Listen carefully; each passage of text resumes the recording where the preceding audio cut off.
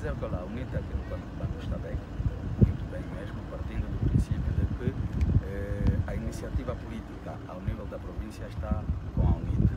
Tudo que politicamente acontece ao nível da província, a iniciativa é da UNITA e os outros vêm a reboque dessa iniciativa. Se de um lado temos eh, a vantagem de termos a iniciativa política, do outro lado temos o facto de eh, termos estado a observar nos últimos tempos uma adesão massiva dos cidadãos para a causa da UNITA. Isso é muito importante para nós, porque na verdade eh, estamos já a trabalhar para o objetivo maior de 2022, que é ganhar as eleições. Repare que eh, neste quesito é importante referir que não se faz o trabalho de ganhar as eleições no mês da campanha.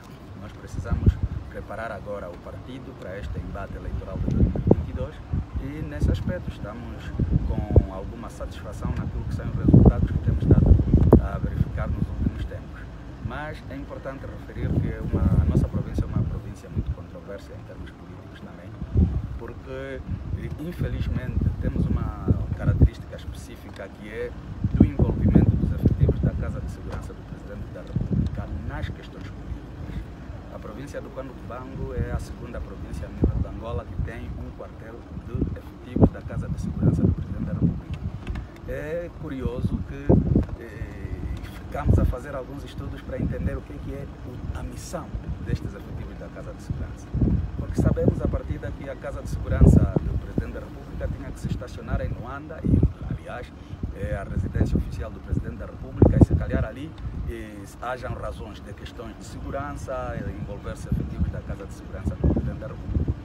Mas ao nível do Banco, uma província onde o Presidente vem só nas campanhas eleitorais ou uma vez a outra, ter um quartel. E deste quartel tem indivíduos que passam o tempo todo a irem contra os outros partidos políticos. Quando digo ir em contra em atos de intolerância política, desde a retirada da bandeira, agressões de pessoas que não se identifiquem com MPLA. E esse tipo de campanhas é feita diretamente por esses efetivos. Então, aproveitando as vossas câmaras, fazemos um apelo para a clarificação do papel dos efetivos da Casa de Segurança do Presidente da República, porque infelizmente tem estado a minar o ambiente salutar e até mesmo de reconciliação nacional aqui ao nível da província. É verdade que este mesmo gabinete ou esta instituição que está no Quadro Cubano, existem alguns cidadãos que, um, depois de desvinculados do Partido UNITA, recebem algum dinheiro a partir deste, deste órgão? Não só recebem algum dinheiro, como também é importante referir que aqui há um cenário muito mais complicado, é, de um tempo a esta parte, esse pessoal todo recebia dinheiro na mão, não se bancarizava os salários deles. E isso servia de uma espécie de uma estrutura de lavagem de dinheiro de generais e o pessoal comandante dessa unidade.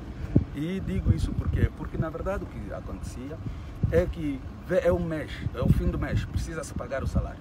Mas as pessoas depois eh, veem cortes nas suas contas, etc, etc, veem cortes nas suas contas e esses cortes fazem-nos eh, sem consentimento dessas pessoas visadas. E isso foi proporcionando também um ambiente não bom entre eles, de um lado, como do outro lado. O remanescente dos valores que eles tinham é que servia para aliciar as pessoas. Mesmo agora, se acompanharam, houve uma peça que a vossa concorrente, a TPA, passou, em que se falou, se falou de pessoas que sairiam da UNITA para o MPLA, num número de 400 pessoas. Primeiro, não é verdade este dado. Em segundo lugar, é que eles têm estado numa perspectiva de dizer, epa, venham para o MPLA e vamos nos dar emprego na casa, na, na casa de segurança do Presidente da República. E é ali onde nós colocamos a questão. A princípio sabemos que uma casa de segurança do Presidente da República é uma unidade militar.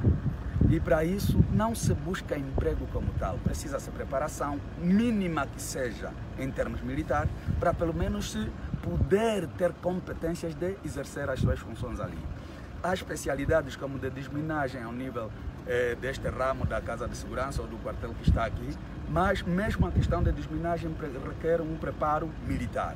E nesse aspecto, quando esta casa é utilizada para alegadamente ser um momento ou um espaço de se proporcionar empregos sem concurso público e depois com garantias de salários, e quando vamos lá entender esses salários são altos, como é que se processa essa máfia toda à volta desse quartel? Ontem mesmo fui informado que houve outra vez um encontro do administrador municipal, que também foi o secretário municipal de Menor que teve às 7 horas, com alguns jovens que tiraram das repartições da educação, da saúde e não só os hospitais, etc., para dizer para venham para sábado, no caso amanhã, serem outra vez apresentados como se fossem militantes da UNITA, mas a garantia que lhes dão sempre é emprego na Casa Militar.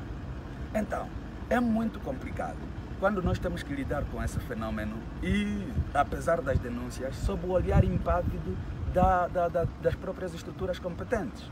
Eu já fiz essas denúncias ao nível do, da Assembleia Nacional, já indagamos pelo menos o, o ministro de Estado e chefe da Casa de Segurança do Presidente da República por três vezes e houve ali alguma atitude paliativa de se vir constatar, etc, etc. Depois apareceu é, o seu adjunto, apareceu a ministra da, das Finanças para tentar averiguar isso. Bom, pelo menos nessas denúncias alguma coisa foi feita que é da bancarização dos salários desses efetivos.